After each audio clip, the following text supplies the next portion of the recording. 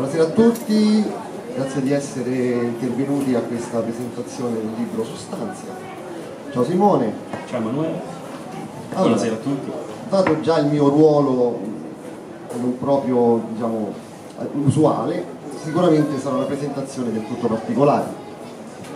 Quindi di solito c'è un giornalista, eh, giusto qui, invece stavolta Sì, effettivamente non sarà una presentazione usuale come di solito accade, perché durante le presentazioni accadono due cose. La prima è che il giornalista spesso non conosce l'autore, non ha letto magari neanche il suo libro, gli fa quindi delle domande passivamente, ricevendo passivamente delle risposte. Ma nel nostro caso questo problema non si presenta perché No. ci conosciamo benissimo, quindi già un problema abbiamo sormontato. La seconda cosa che accade durante le presentazioni di solito è che l'autore cerca di convincere le persone che ha di fronte che il suo libro potrebbe cambiargli la vita, che potrebbe mh, fargli vedere il mondo in modo differente, magari anche insegnargli qualcosa. Sostanza non è nulla di tutto questo, leggerlo non vi renderà persone migliori, non imparerete nulla di nuovo probabilmente, perché è stato studiato, è stato costruito per sfidarvi, per capire fino a che punto voi come lettori siete disposti a spingervi. Ecco appunto eh, questo mm, diciamo, punto della sfida, eh, però parleremo dopo di questo perché è il punto cardine forse di tutto il libro. Sì, Diciamo che forse siamo interessati a, a sapere come nasce l'idea di questo libro, beh sì, in da, effetti... dove, da dove appunto trae spunto. In effetti è meglio partire dall'inizio, andiamo per gradi. Diciamo che molti romanzi nascono magari dalla fantasia dell'autore, mm, per un'idea, per un sogno. Il mio nasce in modo un po' inusuale perché viene da un incubo. Ehm, ricordo perfettamente quella mattina del 4 febbraio del 2015 quando mi svegliai trafelato dopo questo incubo sul letto così un po' tramortito e la prima cosa che pensai fu cavolo non si può dormire neanche più tranquilli ero abbastanza scosso ma diedi la colpa di quell'incubo um, allo stress quotidiano alla normale routine a cui tutti quanti noi dobbiamo affrontare ogni giorno. Quindi mi alzai e proseguì con la mia giornata. Arrivai a sera però che avevo ancora in testa le immagini di quella tempesta di neve, di quelle persone che mi prendevano e mi sbattevano in una camionetta, eh, che mi urlavano contro parole che io non capivo, però sapevo che erano dirette a me personalmente. E a quel punto mi ritrovai casualmente con degli amici a parlare de- del significato dei sogni. Mi sono detto non può essere una cosa casuale, ho tirato fuori un po' di coraggio e gli ho raccontato quello che era il mio incubo. E loro cosa fecero? Mi incitarono a scriverlo, ma non perché eh, volessero che io scrivessi un romanzo, sì chiaro, non l'ho mai fatto prima, semplicemente perché quando ci svegliamo la mattina dopo un sogno, la nostra mente perde dei dati, dei ricordi e mh, provare a scriverlo mh, incita il cervello a chiudere tutti quanti quei cerchi che sono rimasti aperti fino a quel momento, a dare un senso al sogno, a spiegarci magari anche perché lo si è sognato. Magari nel mio caso la peperonata pesante della sera prima e devo dire che ha avuto buon esito quindi. Ecco. Quindi a questo punto diciamo focalizzato il sogno, che il sogno non era abbastanza un incubo, è un incubo anche abbastanza particolare, Sì, molto particolare, è stato scelto, perché io penso che nella vita tutti sogniamo e tutti più o meno ricordiamo un sogno. Proprio Sì. da questo sogno preciso hai deciso di scrivere questo, libro. Beh, diciamo che Come eh, a questo punto è nato proprio il libro, l'idea del libro da, da questo sogno. Sì e no, nel senso che non è stato poi proprio così semplice. Perché io Cioè, nel mattina- senso, perché proprio questo sogno, proprio questo sogno hai deciso di poi dare il via alla scrittura, alla scrivere questo libro. La risposta più secca sarebbe perché mi ha letteralmente colpito. Però tutto questo ha avuto un iter, cioè è voluto mm, un attimo per metabolizzare ecco, questa cosa. Tanto che io la mattina successiva, come ti dicevo, mi sono svegliato e di buona lena mi sono messo al tavolo della sala da pranzo con il mio computer e ho iniziato a scrivere. Il problema è che nel giro di un paio d'ore ero sommerso da queste parole digitali e mm, non mi rendevo conto che il sogno era molto più complesso eh, di quello che io immaginavo e mm, saliva la voglia di scrivere qualcosa intorno a questo sogno. E poi accade un evento che io ricordo come fosse successo dieci minuti fa. Sento una voce fuori campo che mi dice cosa stai facendo? Alzo gli occhi dal computer e sull'uscio della porta vedo alle 9 di mattina, ancora in pigiama, mia moglie che mi guarda già con aria minacciosa. Quindi io tiro fuori il miglior sorriso che si possa tirar fuori alle 9 di mattina e le dico, amore, da oggi scriverò un libro.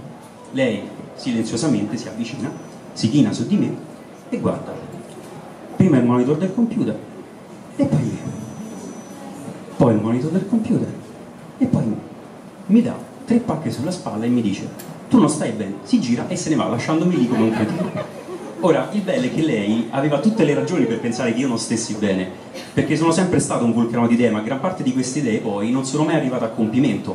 Però quel momento a me mi ha stimolato, mi ha fatto pensare non posso fermarmi qui, era troppo forte la voglia di creare questa storia attorno al sogno e mi sono messo a scrivere devo comunque molto a lei perché se non mi avesse permesso di ehm, lavorare circa 70 ore a settimana a questo progetto, oltre al lavoro che già faccio, se non mi avesse sopportato durante il lungo anno di gestazione che ha avuto Substanzia, ecco io oggi non sarei qui a poter presentare il romanzo senza contare che poi è diventata una delle mie prime sostenitrici ovviamente quando ha visto che il sogno era sfruttato bene, il romanzo stava venendo fuori, arrivavano i primi consensi editoriali. Quindi amore mio è la rossa qui davanti. Grazie, anche merito tuo se sono qui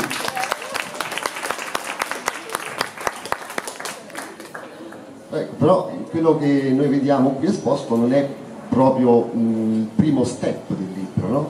Prima di questo c'è stato un altro, diciamo, un'altra parentesi in cui il libro è stato presentato col progetto un po' particolare, il crowdfunding, che mh, ultimamente sta prendendo praticamente piede e che sostiene giovani talenti in qualsiasi lavoro si accingono a fare, in questo caso un libro. Quindi tu hai presentato per la prima volta eh, questo tuo manoscritto ti sei presentato al pubblico tramite il crowdfunding, quindi un'operazione parte dal basso, quindi dal, da, da, sostenitori che ti hanno sostenuto non solo eh, economicamente ma anche eh, moralmente a proseguire il tuo progetto, insomma è stata una spinta, una spinta ulteriore. Sì, in realtà il bello del crowdfunding è che tu puoi mettere online una tua idea, che sia un libro, eh, un nuovo architettura tecnologica, una bici a sette ruote, insomma puoi metterci quello che vuoi su una piattaforma dedicata. Le persone che visitano queste piattaforme, nel mio caso si chiamava Eppela, possono mm, guardare il tuo progetto e se lo ritengono valido decidere di finanziarlo, di fare delle donazioni. Eh, il progetto arriva a compimento nel momento in cui si raggiunge una cifra stabilita e eh, in questo caso io ho potuto ritirare l'importo e eh, creare il romanzo. Però, mh, mm, come dire, a me questa cosa mh, mm, non bastava, il fatto di, aver, di essere riuscito a eh, stampare 75 copie e spedirle in poco meno di 40 giorni, ehm, spedirle perché era un regalo doveroso nei confronti di chi ha deciso di acquistare il libro, ecco. Questa cosa a me non bastava, sentivo che avevo bisogno di stimolare il lettore in maniera differente, eh, non solo con le parole, e quindi visto che i fondi me lo permettevano, ho eh, pagato 5 illustratori professionisti che hanno realizzato 24 illustrazioni per Substanzia che sono in questa edizione messe una per capitolo. C'è un motivo per cui ci sono le illustrazioni. Ora, queste rappresentano una parte, eh, l'evento fondamentale del capitolo che si è appena letto e lo riproducono in maniera estremamente fedele, esattamente aderente ecco, a quella che è la trama. Questo perché alla fine del romanzo il lettore ha in testa non solo le parole che, vengono, ehm, che danno emozioni e che vengono quindi trasposte in immagini, ma mh, ha la possibilità di avere nella sua mente eh, la figura di ciò che è successo esattamente, andando a ricollegare l'iter di tutti gli eventi e eh, raggiungendo quindi un finale ben specifico, anch'esso illustrato. Ora, la qualità di queste illustrazioni non, mh, è altissima, io non credevo di poterla raggiungere, per questo devo ringraziare alcuni artisti insomma, che hanno partecipato, Francesco Tomaselli della Scuola Romana di Fumetto, Marco Patrucco della Sergio Bonelli Editore, Alessandro Scoccia, Tiziana Trimboli e Emanuela Lotta che sono tre professionisti freelance eh, che hanno compiuto un lavoro veramente eccezionale oltre ogni mia aspettativa anche perché il nostro comunicare era tramite mail, messaggi quindi era diciamo così di basso livello non potevamo eh, incontrarci quindi grazie ragazzi.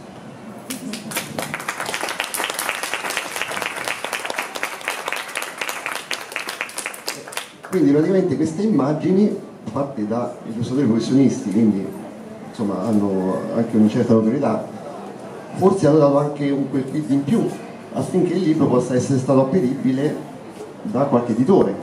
Quindi avrai fatto poi le tue ricerche, diciamo, non ti, non ti bastava solo fare il crowdfunding, visto tutti gli appoggi che hai avuto, eh, i complimenti, mi fanno sempre piacere, hai deciso a un certo punto di dire voglio provare a pubblicarlo con una casa editrice e a un certo punto sei arrivato a Eremon Edizioni, io faccio finta di non sapere nulla di come è andata, raccontaci un po' tu come è andata questa esperienza, come sei approdato a Eremon Bravo, bravo, fai finta. Perché in realtà mm, già creare un romanzo, far uscire un romanzo fuori da un crowdfunding è abbastanza difficile. La mia piattaforma inoltre non trattava libri, quindi chi andava lì cercava cose completamente differenti. Mm, inoltre creare un progetto così eh, complesso con le illustrazioni richiedeva un certo budget e esserci riuscito ha tirato su di me gli occhi dell'editoria. Delle proposte però editoriali che mi sono state fatte non ne ho accettata nessuna, mm, perché ogni casa editrice cercava di instradarmi in quella che era la propria idea di romanzo e a me questo non andava, perché avevo stabilito un percorso che, mm, per, per substanzia, quindi ho rifiutato tutte quante le offerte e ho continuato a perfezionarlo, ovviamente non era eh, a livello che adesso ci è voluto ancora un po' di tempo, finché non ho incontrato l'Eremon Edizioni che mi ha pubblicato, mi ha appoggiato, mi ha spinto fino ad arrivare qui eh, in Mondadori e i cui capi direttori sono Delfina qui presente e Emanuele che mi sta intervistando. No? Stiamo vivendo insieme questa fantastica avventura, insomma. Per me è fantastica. Sì, sicuramente per noi ovviamente stare davanti un pubblico così in una libreria prestigiosa come Mondadori è sempre un passo insomma, importante, una casa editrice che non è a livello mondiale ma nazionale comunque sì, piano piano a piccoli passi e sono anche autori come lui che ovviamente un editore sceglie di pubblicare per fare un ulteriore salto di qualità. E perché è stato scelto? E perché poi gli investimenti futuri. E, parli del romanzo di questa fatidica sfida, ecco, avevo iniziato all'inizio a parlare di questa sfida, un po' un andare controcorrente, no? un romanzo dovrebbe arricchire il lettore, dovrebbe fare questo, eh? tutto, tu dici, substanza non è questo, è tutt'altro, ed è forse questa particolarità che ha spinto la casa editrice a pubblicartelo e magari augurarti un successo insomma, nei prossimi mesi. Inaspettato. Inaspettato esatto, aspettato, non lo so.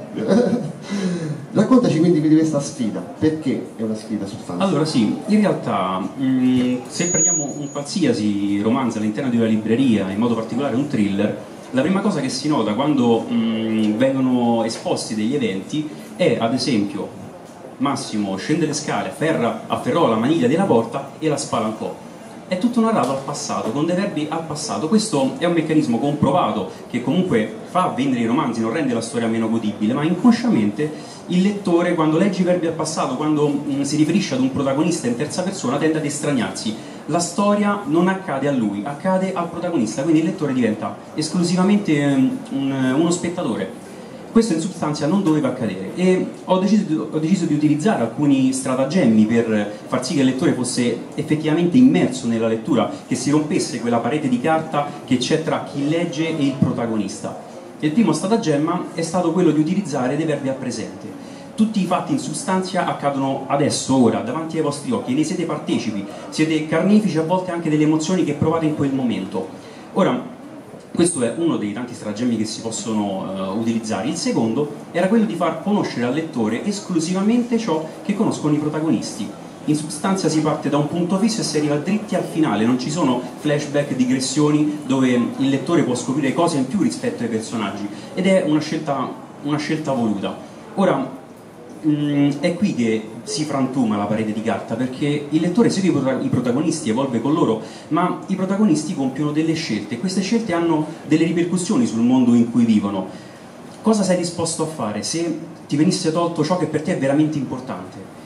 Il libro non lo chiede ai protagonisti, lo chiede a voi, perché loro hanno preso le loro scelte, avranno le loro ripercussioni, ma fino a che punto siete disposti ad appoggiare un personaggio, a seguirlo nella storia e ad amarlo nel momento in cui prende delle scelte che non condividete? ma che in quel momento sono fondamentali. Ecco. Substanzia tira fuori le vostre emozioni a forza dalla prima all'ultima pagina e vi costringerà a schierarvi. Ecco, mi sembra insomma, abbastanza chiaro no? l'intento dell'autore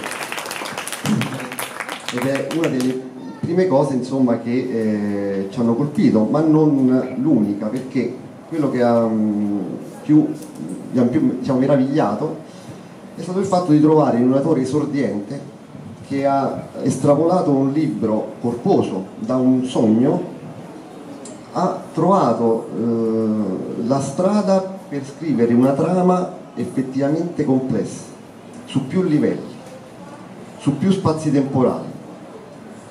Insomma, eh, la trama e la struttura ci hanno convinto a dire substanzia va pubblicato. Quindi questa struttura eh, parlaci un po', insomma, come, la, come, l'hai, come l'hai, creata, come, come hai fatto nei tuoi scompartimenti mentali ad arrivare a svolgere, ecco, a, a, a fare questo, la storia senza intoppi, senza, cioè, tutta coerente, ci sono dei punti su cui bisogna essere molto attenti perché niente è lasciato al caso in questo, quindi dici come, come hai fatto? Eh, praticamente sì. come ho fatto? Allora, sostanzialmente mi sono dato dei punti fermi per scrivere questo romanzo. Um, avevo due obiettivi principali. Il primo era quello di creare una storia complessa, profonda, ma allo stesso tempo di facile approccio. Il secondo era quello di inserire un colpo di scena all'interno di ogni singolo capitolo. Ma nei classici romanzi, ecco, i colpi di scena avvengono più o meno in questo modo: il personaggio apre la porta, si trova qualcuno al di là della porta e lì, con un'esclamazione, si chiude il capitolo, lasciando un'alta suspense. In sostanza i colpi di scena sono leggermente differenti, diciamo così, il protagonista apre la porta, trova qualcuno che conosce, eh, ci parla magari, si gira per chiuderla e quando va per parlargli di nuovo questo tira fuori una pistola e gli spara. E quindi non è ovviamente una scena del romanzo, questa non vado a raccontarvi nulla, ma quindi sono questi mh, i colpi di scena presenti nel romanzo. Vi dovreste chiedere, cioè vi chiederete nel momento in cui andrete a leggerli e adesso mi ero costruito delle certezze, dopo 2, 3, 4, 5 capitoli conoscevo dei personaggi, invece no ogni singolo capitolo ci sarà un colpo di scena che stravolgerà il vostro modo di vedere la storia e di vedere anche i protagonisti. Ora, riguardo invece la struttura del romanzo, mi piace di parlare di Substanzia come un romanzo a strati, perché fondamentalmente esistono due tipi di lettori. Quelli meticolosi, particolarmente attenti, che alla fine del romanzo ricordano le minuzie delle prime pagine e le vanno a concatenare, arrivando a intuire il finale appena prima che si verifichi e, um, questi, um, questo tipo di lettore avrà di che divertirsi perché mi sono um, cimentato a inserire all'interno di tutto quanto il libro circa 20 particolari che se notati ci porteranno pian piano a cercare di intuire il finale del romanzo con però un colpo di scena finale che ovviamente non potrà essere che una sorpresa. L'altro tipo di lettore invece è quello meno attento che legge una storia semplicemente per il piacere di leggerla, come è giusto che sia, e non è un modo sbagliato di approcciare un libro quindi voi vi chiederete adesso chi legge in treno sommerso dalla gente, dagli schiamazzi, non capirà la sostanza? No, perché le ultime 20-30 pagine sono state costruite per svelare, per girare tutte quelle carte rimaste coperte fino a poco prima e rendere quindi il finale ineluttabile.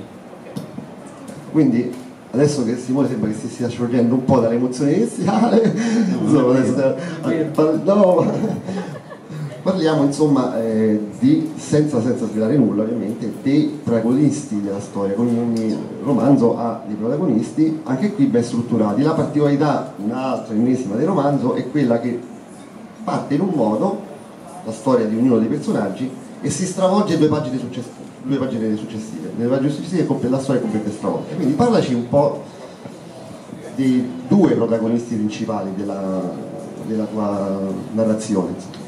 Sì, effettivamente racchiudere in poche parole la trama di un libro in generale lo sminuisce sostanzialmente, ma in questo caso i due protagonisti sono molto esplicativi di dove mh, spiegano dove si parte con il romanzo e si capisce immediatamente nel giro di poche pagine dove si andrà eh, a parare, o perlomeno si tenta di capirlo. Ecco, in sostanza inizia con un prologo di 10 pagine, in questo prologo che ci fa capire che ci troviamo alla fine della storia, siamo arrivati ad un punto, c'è un personaggio, un uomo all'interno di una stanza tenuto rinchiuso, legato, costretto e di fronte a lui due esponenti militari che gli fanno delle domande incalzanti, stringenti. Eppure lui non sembra temere questi suoi carcerieri, anzi pare essere il contrario a dire il vero. Eh, gli pongono queste domande e sembrano aver timore di lui per ciò che potrebbe fare o magari ciò che potrebbe dire, ma non è dato saperlo, come non è dato sapere il nome di questo personaggio il prologo si interrompe qui e avviene l'unico balzo temporale di tutto quanto il libro. Si torna indietro e viene presentato il primo protagonista, che è Massimo. È un uomo sui 30 anni, una vita tranquilla, una moglie, una figlia, eh, cerca come tutti noi di infilare i propri hobby nella routine quotidiana. Non sembra essere un personaggio speciale, eppure farà qualcosa di speciale per proseguire all'interno di questa storia molto, articol molto articolata. Ma non è ovviamente questo il momento di svelarlo. Il secondo personaggio invece si chiama Anton ed è mh, mm, introdotto in modo decisamente più crudo. Anton è un bambino, ha 9 anni ed è sdraiato su un lettino ospedaliero. Un mh, mm, è tenuto in coma farmacologico perché un tumore in metastasi ormai, una rarissima forma, lo sta lentamente consumando e i suoi farmaci potrebbero essere sospesi. Il problema è che nel momento in cui ehm, verrebbe svegliato il suo fisico collasserebbe e morirebbe nel giro di pochissimo tempo. Ed è qui che entrano in gioco i personaggi secondari di Substanzia, quelli di supporto. In modo particolare Agata, un personaggio che mh, mi è rimasto nel cuore, è il mio preferito, perché è una donna che eh, ha una forza d'animo eh, ineccepibile, fortissima, farebbe qualsiasi cosa per suo figlio, oltre tutto quello che ha già fatto, pur di salvarlo, perfino prendere quella decisione così straziante che è l'utilizzo sul suo bambino della sostanzia. Un particolare liquido che mira a curarlo, promette di curarlo, ma del quale non si conoscono poi gli effetti collaterali. E quindi qui abbiamo diciamo, dato una, una breve accenno ai personaggi. Sì, ehm, però non fraintendetemi, eh, a questo punto non si parlerà del romanzo come ehm, cercheremo di curare un bambino malato o di come Massimo tenterà di far felici i suoi cari. Sostanzia parla di tutt'altro, mm, parla di esperimenti su cavi umane, questi due personaggi verranno inseriti all'interno di questo mondo eh, forzatamente e durante tutto il libro avranno in testa solo due domande. Riuscirò a tornare alla mia vecchia vita? Consapevoli che non sarà mai più la stessa in realtà. E l'altra domanda è cosa sei disposto a fare? Cosa sei disposto a fare per proseguire in questo programma? Cosa sei disposto a fare per scoprire se ciò che stai facendo, al di là di ciò che stai facendo, c'è qualcosa di non così limpido, se dietro questa parete trasparente in realtà eh, c'è qualcosa di torbido. In sostanza i protagonisti cercano costantemente insieme al lettore di discernere ciò che è bene da ciò che è male, ma non laddove tutto è lecito, laddove qualcosa diventa di fondamentale importanza per noi. E allora dove poniamo quella sottile linea rossa che divide il bene dal male quando per noi qualcosa diventa eh, importantissimo, vitale e ci rendiamo conto che è puramente soggettiva? Esatto, io penso che ci si possa trovare tranquillamente anche senza leggere il romanzo, in situazioni in cui dobbiamo fare delle scelte per i nostri cari che sono eh, impopolari o comunque anche moralmente eh, diciamo poco corrette. E quindi insomma c'è spunti di riflessione in questo romanzo, quindi eh, non sono completamente d'accordo con l'autore quando dice che il eh, libro non aiuta a crescere o comunque non aiuta, non arricchisce il lettore.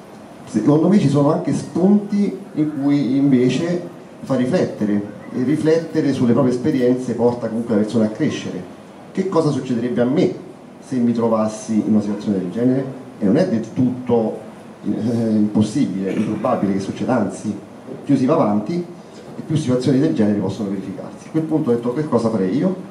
Queste sono domande che aiutano parecchio a crescere e a far crescere insomma chi è che è intorno a noi. Quindi questo è il appunto secondo me sono contenti disaccordo quando alla mia domanda di prima hai fatto quella per... sì è una sfida ma secondo me anche molto importante per, per le persone per, anche per riflettere sulla propria esperienza personale. E guarda a questo punto io volerei la palla al balzo per leggere una parte del romanzo e in parte darti anche ragione Ah, bene, contento? Eh, grazie. Quale parte ci propone? Perché questa, poi questa parte particolarmente? Cioè, Ho deciso di leggere il secondo capitolo, eh, non vi dirò il perché, vorrei che mh, lo ascoltasse e eh, provasse a, diciamo così, a, ad avere un'emozione. Pensate a cosa vi suscita. È il secondo capitolo del romanzo, così non vi svelerò niente di, di evocato. Il corridoio è lungo e deserto. Le anonime pareti bianchissime riflettono la luce alogena delle lampade poste sul soffitto.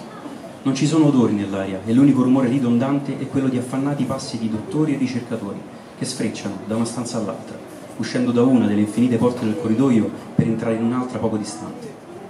In questo lungo canale di cui non si vede la fine c'è solo una sedia, di un rosso che stona con l'ambiente circostante e che sembra essere stata messa lì di proposito, accanto alla porta col numero 1045 dove spicca su una tavola metallica il nome del dottor Marcus Manders. Poco sotto, a caratteri più piccoli, centro di ricerca sulla sostanza per l'umanità. Seduta sulla sedia c'è una donna sui 50, tiene le mani serrate in grembo e la schiena ricurva in avanti, ha il volto evidentemente provato dalla stanchezza e c'è la sofferenza. È ben vestita e l'abito azzurro che indossa sembra calzarle a pennello.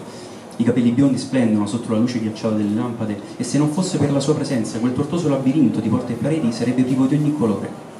Cigolando, la porta 10.45 si apre, lasciando uscire un uomo in camice bianco, brizzolato e stempiato, con degli occhiali da vista decisamente anni 50. Tiene in mano una cartella clinica di un giallo sbiadito. Signora Volco? Agatha alza lo sguardo, i suoi occhi azzurri come il mare sembrano chiedere pietà. Poi con quello che pare uno sforzo notevole si alza in piedi. Entri nella stanza, per favore. Lei segue con stanchezza il dottore senza aprire bocca, chiudendo la porta dietro di sé. La stanza è illuminata da una luce soffusa e si possono scorgere nella penombra un paio di armadietti per i camici ospedalieri, un lettino da ricovero e un banco con molti strumenti chirurgici. Il neon sul soffitto è spento e l'unica fonte di illuminazione sono due piccole lampade su un'enorme scrivania e una lavagna luminosa. La donna continua a tacere mentre il dottor Manders apre la cartella clinica e inizia a sfogliarne le pagine. I due sono divisi solo dall'ampia scrivania grigio topo su cui lo scienziato sfoglia con delicatezza il plico. Si sieda pure, signora Volkov. Agata tira sé la sedia dal suo lato del tavolo e vi si siede con rassegnazione. Chiamami pure Agata, non fingiamo di non esserci mai visti. L'uomo guarda distinto gli altri dottori in piedi dietro di lui, poi torna a fissare le carte. Come vuoi, Agata, in tal caso possiamo darci del tu. Vista la situazione, chiamami pure Marcos. Seguono attimi di profondo silenzio mentre l'uomo dispone in maniera ordinata le carte sul tavolo. I presenti osservano l'alternarsi dei fogli zeppi di parole a quelli con le foto di un bambino sul letto d'ospedale e intubato, corredati da referti medici con firme, timbri e diapositive. Marcus ne appende una alla lavagna luminosa e inizia il suo discorso. Agata, come già sai le condizioni di salute di tuo figlio sono pessime. Non sarò qui a dirti cosa si potrebbe e non si potrebbe fare per il bambino. Abbiamo già tentato il possibile, ma il tumore è estremamente esteso e tenerlo in coma farmacologico ne sta solo ritardando l'ulteriore espansione. La situazione è davvero critica e ritengo che non rimangano più di due mesi di vita al piccolo Anton. Scusami se sono stato troppo esplicito. La donna sembra immersa nel suo dolore. osserva con amarezza la diapositiva satura di macchioline nere ha ormai pianto tutte le lacrime che una madre può piangere e non sente più nulla se non un nauseabondo senso di rassegnazione. Speravo che fossi diretto, Marcus, sincero e realista. Questo inferno va avanti da troppo tempo e ho bisogno di certezze, seppur liberi. La voce le trema ad ogni parola, ma seppur flebile deve continuare se vuole delle risposte. Quindi alla fine morirà. Sapevo sarebbe arrivato questo momento, mi ero preparata, ma non credevo potesse fare così male. Posso almeno parlargli un'ultima volta prima che si spenga? Il dottore tira su gli occhiali con il dito, rimettendoli al loro posto sul naso aquilino. Poi emette un lievissimo sospiro. Agata, vorrei chiederti una cosa. Tu faresti di tutto per tuo figlio? A cosa sei disposta per salvargli la vita? Sentendo quelle parole, il donna si alza in piedi e tira fuori la voce. Non ho già fatto tutto, sangue, midollo, rene. Se potessi gli donerei la mia anima anche solo per vederlo vivere un giorno. Marcus, cosa sta cercando di dirmi? Ti prego, non mi illudere anche tu, non ho più le forze per farlo. Sarò sincero con te, sei una donna formidabile per carattere e determinazione, ma non so se condividerai quello che sto per proporti.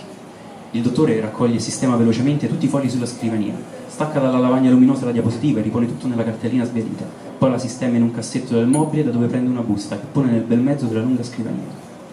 Prende il tagliacarte e recide con il nastro, il nastro con un gesto deciso. È arrivato stamattina, Apre la busta e ne sfila un piccolo fascicolo, rilegato con cura e sulla copertina è stato scritto in chiare lettere dorate, applicazioni medico-chirurgiche della sostanza, dottor Ramiro Asimo. Marcus afferra il manoscritto e lo gira verso la donna affinché possa leggerlo, ma la reazione di Agatha non è quella sperata. Oh mio Dio, Marcus, volete provare sugli esseri umani quella cosa? La donna allontana il plico con la punta delle dita e torna a sedersi spaventata. E se gli faceste del male, come potrei torturarlo ancora? Agata, tuo figlio sta morendo, non c'è medicina al mondo che possa curarlo e se provassimo a svegliarlo dal coma il suo corpo collasserebbe. Non farebbe in tempo a parlare perché i suoi organi non funzionerebbero a dovere, lo vedresti vivere gli ultimi minuti tra atroci dolori, finché il cervello non degrederebbe il malfunzionamento della macchina, staccando la spina. Vorresti che siano questi gli ultimi momenti di tuo figlio? O desideri veramente salvarlo? La donna scoppia fragorosamente in lacrime non lo ascolta, si prende la testa fra le mani, la scuote con forza, chiedendosi perché tutto questo sia successo a lei, che fino a un anno prima viveva felicemente la sua vita e giocava col suo bambino, poi dopo un lunghissimo respiro torna a parlare. Ti lascerò spiegare, Marcus, però se non mi piacerà quello che hai da dire, pretenderò che nostro figlio muoia, come nostro Signore ha stabilito. Va bene, deciderai tu. Innanzitutto, il reparto di ricerca sul cervello del CRSU lo segue da cinque anni ormai e abbiamo imparato da lui più di quanto siamo riusciti a insegnargli. Lui è nostro figlio è una risorsa per l'umanità, che non può e non deve morire. Pensa a cosa potrebbe scoprire se solo riuscisse a vivere altri dieci anni. Marcus, non fare leva sulle mie aspirazioni di madre, ti prego. So solo che mio figlio sta morendo. Continua con le tue spiegazioni. L'uomo cerca di ricomporsi e di tornare distaccato. Certo, scusami pure, guarda il fascicolo, apro.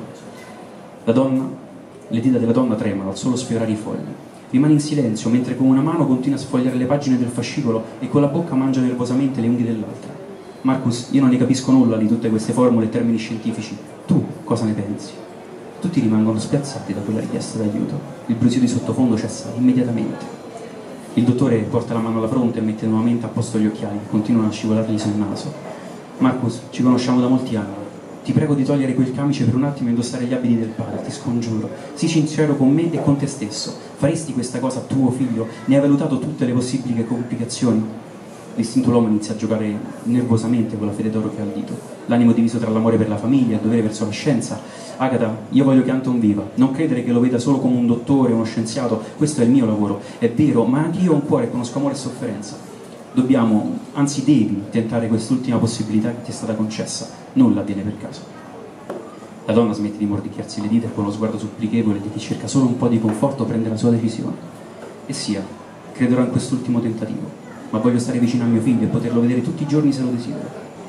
Dovremmo trasferirlo in un centro organizzato. L'ospedale in cui è ricoverato ora non ha mezzi per ospitare un esperimento di tale portata. Farò in modo che tu abbia una stanza in cui possa stare.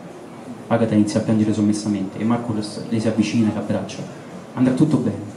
Non perdere la speranza. Ti prometto che salveremo Anton e torneremo a essere la famiglia felice di una volta. Ho firmato perché ti amo, Marcus, solo perché ho un'estrema fiducia in te e non voglio vivere senza nostro figlio. Lui la stringe con decisione, accarezzando la testa, singhiozzante sul petto. Non accadrà mai. Ho fatto questo per salvarlo, per salvarci tutti e tre. Grazie.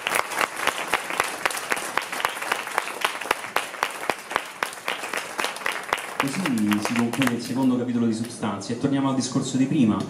Dov'è la differenza fra il bene e il male? Da una parte una madre accurata che fa di tutto per salvare il figlio, dall'altra un medico che segue la scienza ma che non ce la fa più alla fine a rimanere dentro il suo camice.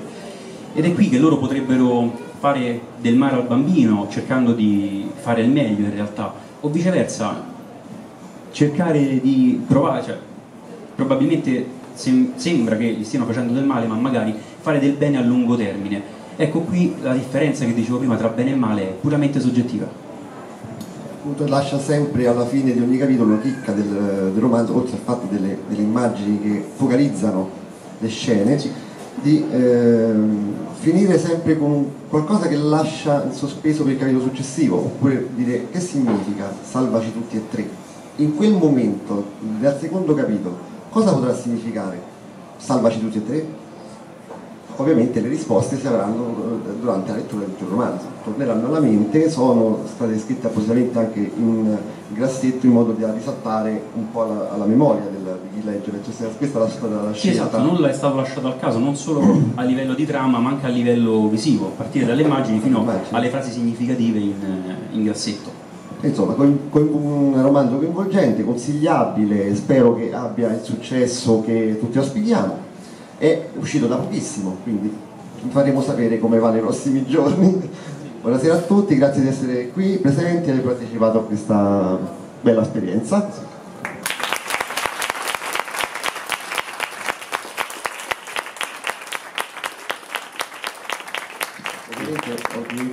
avete domande da fare all'autore, qui per voi disposizione potete chiedergli tutto, quello che volete. Anch'io non posso insomma non ringraziarvi per essermi stati a sentire questa, questa mezz'oretta eh, qui davanti al religioso silenzio, tra l'altro, quindi grazie davvero. Spero di avervi messo um, un po' di curiosità, ecco, eh, quella necessaria per farvi scegliere Substanzia come il prossimo libro da avere sul comodino. Se così non fosse, comunque grazie per aver partecipato a questa serata.